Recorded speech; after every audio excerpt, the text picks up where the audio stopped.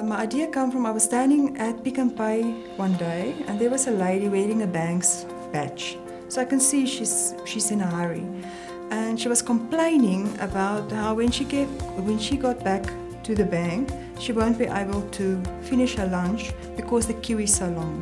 So that made me wonder, what if she didn't have to stand in the queue and her lunch could be delivered to her?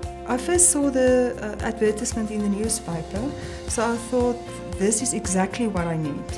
Because I don't, I've got the idea in my head, but I don't know what to do with it. If you've got an idea and you really uh, want to go out there and make it a reality, do this uh, program. It will help you to think out of the box and it helped me to learn the skills that I desperately needed to make my dream a reality.